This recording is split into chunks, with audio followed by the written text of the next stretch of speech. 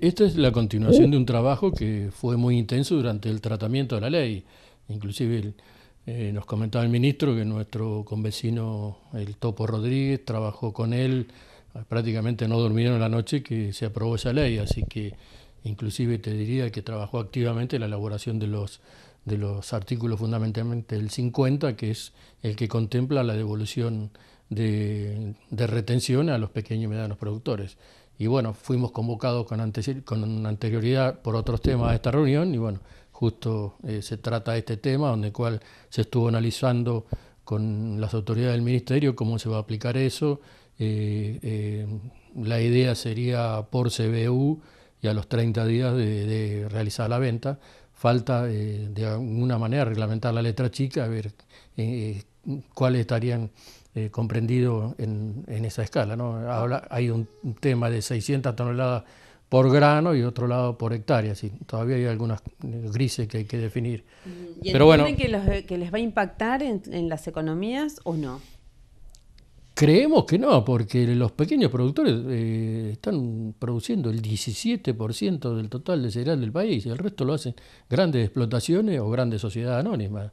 Eh, no es significativa, digamos, la pérdida, entre comillas, que tendría el Estado eh, en reconocer la retención a los pequeños y medianos. ¿Y esto creen que va a ser inmediato, que debería ser inmediato? quedamos en seguir trabajando no solo por este tema, sino con otros temas, eh, igual que también otro tema que salió el fin de semana, que es el proyecto de, aumento en, la provincia, el inmobiliario rural, y, ingresos brutos y etcétera, también eh, contempla de alguna manera una segmentación en cuanto a que quien tiene una mayor cantidad de, hectáreas o una propiedad urbana con un alto poder adquisitivo, se va a pagar más. Y el pequeño, hasta 50 hectáreas, te diría que no, estaría pagando, y el mediano se hablaría de, alrededor de un 15%. Así, eh, sí, eh, eh, a nadie le gusta pagar de más, pero bueno, de alguna manera estaría reconociendo la, calidad y la, cantidad de, de producción que hace cada, cada contribuyente. ¿no? Ahora, ¿entienden, Dardo, que, eh, a ver, que mm, las bases pueden llegar a no estar de acuerdo con esto o no? ¿O creen que van a acompañar lo que los dirigentes están planteando?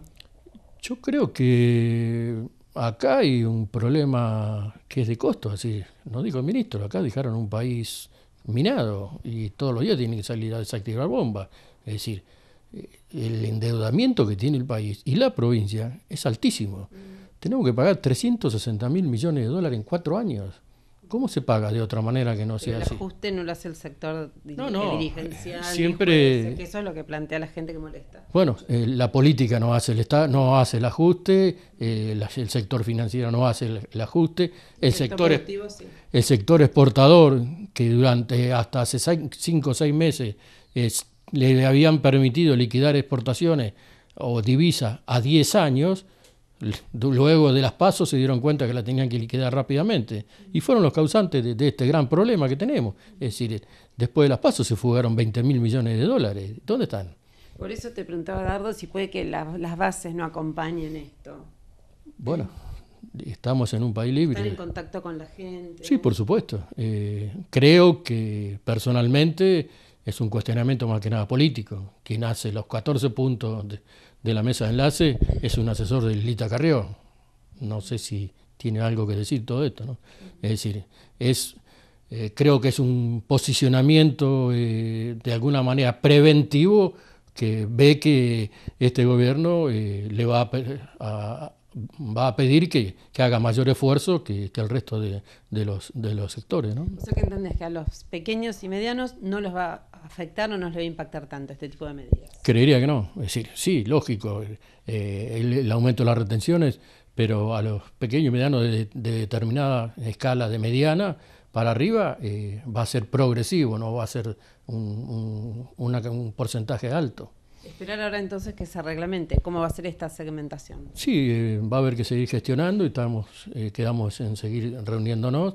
Ahí estuvimos con sectores del cooperativismo y sectores de Federación Agraria que no, de alguna manera no está eh, de acuerdo con la posición que tiene la, nuestra entidad madre nacional que sigue acompañando la mesa de enlace y nosotros creemos que ahí ese no es el lugar histórico de la Federación Agraria. ¿Y qué van a hacer en relación con eso?